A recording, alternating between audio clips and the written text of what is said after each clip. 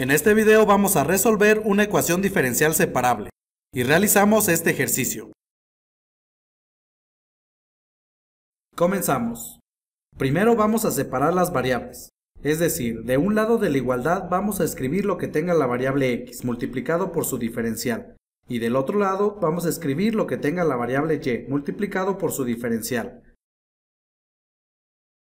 Entonces, como el diferencial de y está multiplicando del lado izquierdo de la igualdad, vamos a pasar todo lo que tenga esta variable de este lado. Primero observamos que el diferencial de x está dividiendo del lado izquierdo de la igualdad. Entonces lo pasamos al lado derecho multiplicando. Y tenemos que el diferencial de y es igual a e con exponente 3x más 2y, que multiplica al diferencial de x. Ahora vamos a separar la exponencial en dos términos. Para eso vamos a usar la siguiente ley de los exponentes, en donde la base a es igual a e, el exponente m es igual a 3x y el exponente n es igual a 2y. Y tenemos que el diferencial de y es igual a e con exponente 3x, que multiplica a e con exponente 2y, por diferencial de x. Ahora vamos a pasar el término e con exponente 2y del otro lado de la igualdad. Para eso, observamos que este término está multiplicando, entonces lo pasamos al lado izquierdo de la igualdad dividiendo.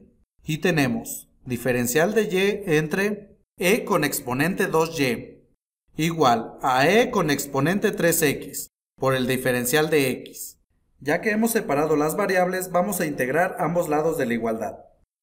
La integral de diferencial de y entre e con exponente 2y y esto es igual a la integral de e con exponente 3x que multiplica al diferencial de x. Antes de integrar vamos a reescribir la exponencial del lado izquierdo de la igualdad, usando la siguiente ley de los exponentes, en donde a va a ser igual a e y m va a ser igual a 2y. Y tenemos la integral de e con exponente menos 2y, por diferencial de y. Y el lado derecho de la igualdad lo volvemos a escribir, ya observamos que ambas integrales tienen la misma forma. Entonces, para calcular estas integrales vamos a usar la siguiente propiedad, en donde al aplicarla a la integral del lado izquierdo de la igualdad, tenemos que a es igual a menos 2 y u es igual a y.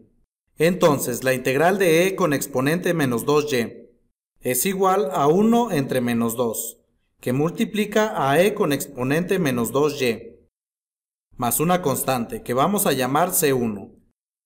Igual, y aplicamos esta misma propiedad a la integral del lado derecho, en donde ahora a es igual a 3 y u es igual a x.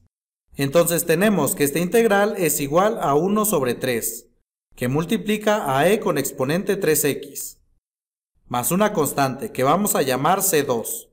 Podríamos decir que esta es la solución general de nuestra ecuación diferencial, pero la vamos a reescribir de una mejor manera, de forma explícita. Es decir, vamos a despejar a la variable y en términos de la variable x. Entonces, observamos que esta variable y se encuentra del lado izquierdo de la igualdad. Como C1 está sumando de este lado de la igualdad, lo vamos a pasar al lado derecho restando. Y tenemos 1 entre menos 2, que multiplica a e con exponente menos 2y. Y esto es igual a un tercio de e con exponente 3x, más la constante C2, menos la constante C1. Ahora el menos 2 está dividiendo del lado izquierdo de la igualdad. Entonces lo pasamos al lado derecho multiplicando. Y tenemos e con exponente menos 2y es igual menos 2 por un tercio es igual a menos 2 tercios. Por e con exponente 3x. Y menos 2 por más e2 es igual a menos 2c2. Y menos 2 por menos e1 es igual a más 2c1. Ahora a la constante menos 12,2 más 12,1 la vamos a renombrar como una nueva constante que vamos a llamar c. Y ahora vamos a tomar el logaritmo natural en ambos lados de la igualdad. Y tenemos el logaritmo natural de e con exponente menos 2y. Es igual al logaritmo natural de c menos 2 tercios de e con exponente 3x. Y en el lado izquierdo de la igualdad vamos a usar la siguiente propiedad en donde a va a ser igual a menos 2y. Entonces tenemos que el logaritmo natural de e con exponente menos 2y es igual a menos 2y. Y el lado derecho de la igualdad lo volvemos a escribir. Ahora el menos 2 está multiplicando a la variable y, entonces lo pasamos al lado derecho dividiendo. Y tenemos que y es igual al logaritmo natural entre menos 2. Y multiplicamos signos. Más por menos es menos. Y ahora logaritmo natural entre 2 lo podemos escribir como un medio del logaritmo natural. De c menos 2 tercios de e con exponente 3x.